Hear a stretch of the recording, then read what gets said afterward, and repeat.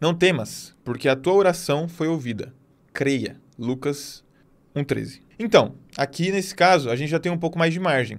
Tá vendo? A gente já tem um pouco mais de margem, já ficou melhor a questão da margem. Só que você ainda erra, você ainda peca, né? Aproveitando que a oração, você está pecando, você está cometendo, cometendo um pecado, que é o seguinte. Normalmente, foi o que eu falei na última live. Esses acentos aqui, ó, o tio, o cedilha, ele faz exatamente isso com a nossa frase. Ele faz exatamente isso com o nosso bloco de texto, que é o quê? É distanciar o nosso texto um do outro. Então a gente tem aqui um distanciamento um tanto quanto grande aqui e aqui. Além disso, além do, do, distanciamento estar grande, o distanciamento entre essas duas partes não são iguais. Vocês conseguem perceber que aqui é menor do que aqui? É coisa pouca, mas é menor. Então, o que, que eu costumo aconselhar as pessoas fazerem? Tira esse tio e tira o cedilha. E aí você tem alguma coisa nesse sentido aqui, ó. Vamos para o Photoshop. Vamos lá. Não temas. Aí, ó. Beleza. Aqui você tem um bloco de texto, certo? Vamos alinhar aqui. Aqui já tá. OK, beleza. Vamos deixar assim.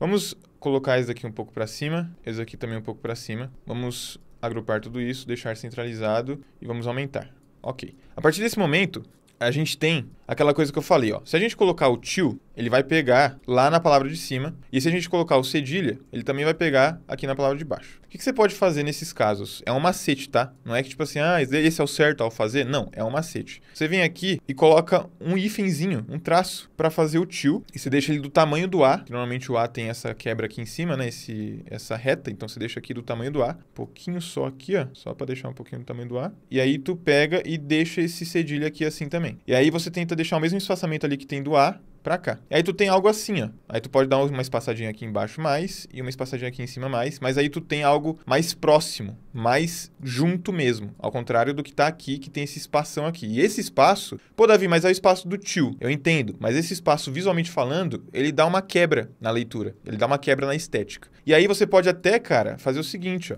Você pode até trocar essa fonte, porque você usou a mesma fonte três vezes. Então, você pode trocar essa fonte por uma fonte condensada, como por exemplo, a Balboa. Já que a oração é a palavra mais importante aqui, você usa uma outra fonte, que é uma fonte mais esticada, e faz algo assim, ó. Não temas, porque a tua oração foi ouvida. Bom, aí você tem algo assim. Aí você pega aqui, copia, traz aqui, diminui, deixa aqui assim, aumenta, para cá pro ladinho. Pode aumentar até aqui assim, ó, e pode até abaixar um pouco ele, no ajuste mesmo.